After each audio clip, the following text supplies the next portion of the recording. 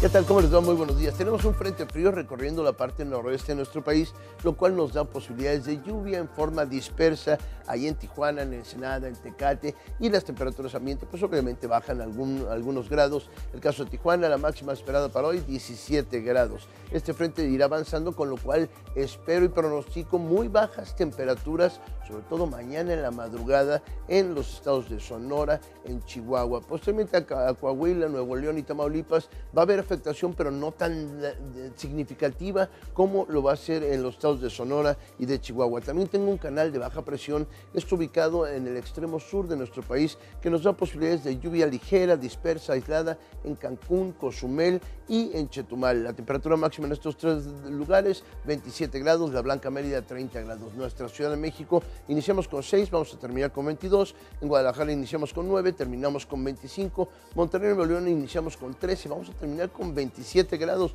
al igual que en Reynosa 27 grados. También esta mañana también tuve reportes de visibilidad reducida en el aeropuerto de Veracruz debido a la presencia de neblina, con lo cual podríamos tener alguna demora aérea en hora de la mañana, sobre todo para el aterrizaje. Centro del país, por último, Aguascalientes, Guanajuato, Querétaro, están en un promedio esta mañana entre los 4 y los 6 grados y a mediodía estaremos en Aguascalientes 24, León 25, en Querétaro 27, San Luis 20 grados y las costas, por supuesto, del Pacífico costa sur en los 30 bajos, costa central en los 30 estaremos en esta jornada. Así es que ya saben, mucho frío esperamos para mañana, sobre todo en la zona norte. Muy buenos días.